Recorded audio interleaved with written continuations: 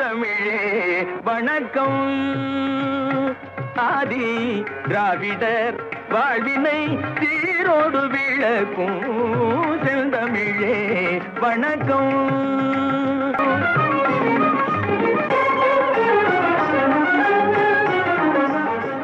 அனுபவங்கள். இது ரொம்ப முக்கியம் என்ன அப்படின்னா இந்த அனுபவங்களை சொல்ல வேண்டிய கட்டாயம் இருக்கதை நம்ம முதல்ல பார்த்துக்கணும். ஏதோ நம்மளை கூப்பிட்டுட்டாங்கங்கிறதாக நம்முடைய சோக கதை சொந்த கதையெல்லாம் சொல்லி அங்கே வந்து பேசக்கூடாது. அவசியம் தானா அப்படின்னு.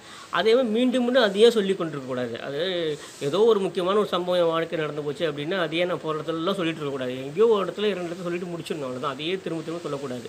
இரண்டு அப்புறம் மிக முக்கியமானது நாம் சொல்லுகிற அனுபவங்களில் நமக்கு உண்மையிலேயே அது நேர்ந்திருக்க வேண்டும். அல்லது வேறு யாராவது சொல்லுகிற போது சொல்லுகிறவர்கள் நம்பத்தகுந்த ஆசாமியாக பார்த்து சொல்லணும் அதான் மிக முக்கியம். என்னென்ன ஒரு ஒரு நல்ல ஒரு உதாரணம் சொன்னேன் தமிழ்நாடு முழுக்க இந்த கதை ஓடிட்டுருக்கு. தமிழ்நாடு முழுக்க. என்னென்ன ஒரு ஒரு ஒரு தலைவர் இருந்தாராம். அவருக்கு வந்து ஒரு பெரிய அறுவை சிகிச்சை செய்யணுமா? வந்து கேட்கும்போது அவர் சொல்லிட்டார் டாக்டர்கிட்ட இன்றைக்கி வேண்டாம் நாளைக்கு வச்சுக்கலாம் அப்படின்னு சொன்னாராம். என்ன காரணம்? அப்படின்னு கேட்டால் நான் ஒரு புத்தகம் படிச்சுட்டு இருக்கேன் அதை முடிக்கணும்னு சொல்லணும். அவர் எந்த அளவுக்கு புத்தகம் படிக்கிறார் பார்த்தீங்களா? இதெல்லாமே வந்து வெறும் புனைவு தான். வெறும் பொய். எல்லாருமே அப்படி தான் தனக்கு வேண்டப்பட்ட தலைவரை பற்றி அப்படியே உயர்த்தி பேசணும்னா இந்த மாதிரி நிறைய இந்த மாதிரி எங்கேயாவது ஆங்கிலத்தில் ஏதாவது நடந்திருக்கா பாருங்களேன். நான் சொல்வது எதுவும் நீங்கள் பார்க்க வேண்டாம். நான் ஏற்கனவே சொன்ன மாதிரி தான் நீங்கள் போயிட்டு இப்போ முன்ன American president doctor Barack Obama அவர் பேசுகிறதுலாம் இருக்கும் எடுத்து பாருங்கள் எங்கேயாவது இந்த மாதிரிலாம் கதை விட்டு தெரியுறாங்களா பாருங்களேன். தமிழ்நாட்டில் இதை சொல்லிட்டு இருக்கோம். நாம் அங்கே இருக்கணும். அது நடந்தப்போ நான் அங்கே இருந்திருக்கணும் இது நடந்தது அப்படின்னு சொல்லணும். அப்படி இல்லைன்னா அப்படி வேறு யாராவது சொல்லியிருந்தேன்னா அவங்களுடைய நம்பகத்தன்மை என்னன்னு பார்க்கணும். அப்படி இல்லை. எல்லாம் சும்மா சில்லறைங்கள்லாம் உட்காந்துட்டு எனக்கு அந்த மாதிரிலாம் பெருசு பெருசு பெருசாக ஒரு ஏன்னா ஒரு ஒரு ஒரு பெரிய உருவம் கொடுக்குற விஷயங்கள்லாம் தமிழ்நாட்டில் வந்துட்டு அது வேண்டாம். யாராக இருந்தாலும் வேண்டாம். எந்த தலைவருக்குமே வேண்டாம். அது எல்லாமே இது மாதிரியான பொய்கள் புனைவுகள் தொடர்ந்து போயிட்டுருக்கு. எல்லா இடத்துலையும். ஒரு ஒரு ஒரு பொது மேடையில் நான் அமர்ந்திருக்கிற போது ஒரு ஒரு ரிட்டையர்டு ஐஏஎஸ் ஆஃபீஸர் வந்து இந்த கதையை சொல்கிறாரு அப்போ கேட்டேன் இது எங்கெங்கே படிச்சிங்க? யாருங்க சொல்கிறாங்க இல்லை எல்லாமே சொல்லக்கூடியது தானே? அப்படிம்பாங்க. எல்லாரும் சொல்லக்கூடியது. அதுதான் தப்பு. ஏன்னா இதுக்கு ஒரு சிறந்த உதாரணமே இருக்குது நம்ம தமிழ்நாட்டில். என்னென்ன கடன்பட்டா நெஞ்சம் போல் கலங்குவார் இலங்கை வேந்தான் என்கிறான் கம்பன் அப்படின்னு பல பேர் சொல்லிட்டு இருக்காங்க பல நாள் வரைக்கும். அப்புறம் தான் திரு குமரி ஐயா அவர்கள்லாம் சொன்னாங்க இந்த மாதிரி ஒன்று இல்லவே இல்லை கம்பராமாயணத்தை இப்படி ஒரு சொற்றொடரே கிடையாது அப்படின்னு சொன்னதுக்கப்புறம் தான் எல்லாரும் அதை உடனே கவனமாக பார்க்க ஆரம்பிச்சாங்க ஓ இப்படி இல்லை போல் இருக்குது அப்படின்னு சொல்லிட்டு.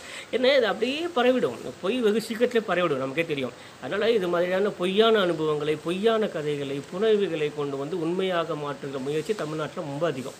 அதுவும் குறிப்பாக ஏதோ ஒரு தலைவரை பற்றி பெருசாக பேசணும்னு இந்த மாதிரி நிறைய கதைகள் விடுவாங்க. அதெல்லாம் வேண்டாம். இந்த அனுபவங்களை தயவு செய்து பேச்சாளர்கள் சொல்கிறோம் அதெல்லாம் வேண்டாம். இப்போ நம்ம சொல்கிறதெல்லாம் இளம் பேச்சாளர்களுக்கு தான். மாணவர்களுக்கு மாணவர்களுக்கு தான் நம்ம சொல்கிறோம் அதனால் அது வேண்டாம். இது மாதிரி ஏதாவது அனுபவங்கள் யாராவது உங்ககிட்ட சொன்னாங்கன்னா கூட உடனே பாருங்கள் அது எங்கேருந்து வந்திருக்குன்னு பாருங்கள் அது ஒரு ஆத்தென்டிகேட்டட் சோர்ஸ் இருக்கணும். அது அதிகாரப்பூர்வமான ஒரு இடத்துலேருந்து வந்திருக்கணும். அது இப்படி இருந்தால்தான் அது ஏற்றுக்கொள்ள முடியும். இல்லைன்னா இல்லை. சரிங்களா? அதனால் தயவு செய்து அதெல்லாம் வேண்டாம். சொந்த அனுபவங்கள் சொல்லுகிற போது கொஞ்சம் கொஞ்சம் கவனத்தோடு இருந்துக்கணும் தேவையா அப்படின்னு பார்க்கணும் ஸோ இப்போ இது எல்லாத்தையும் பார்த்தோம்.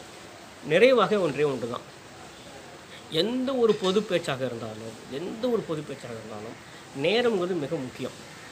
முப்பது நிமிஷம்னா இருபத்தொம்பது நிமிஷத்தில் முடிக்கணும். முப்பது நிமிஷம்னா ஒரு மணி நேரம் பேசவே கூடாது. மிக தெளிவாக இருக்கலாம். நம்ம என்ன வேணால் பேசலாம். எ- உளறி கூட கொட்டலாம். தப்பு தப்பாக கூட பேசலாம். அதெல்லாம் கடைசியாக தான். ஆனால் ஒரு பொது பேச்சு வந்துருக்கிற போது அதுக்கு ஒரு குறிப்பிட்ட கால அளவு இருக்கும். அப்படி இல்லைன்னா நாமே முதல்ல கேட்கணும். கேட்டுக்கிட்டு பல சமயங்கள் நான் சொல்லியிருக்கேன். மிகவும் ஆரோக்கியமான விஷயம் என்னென்னா எடுத்தோடனே நீங்கள் சொல்லிடணும்.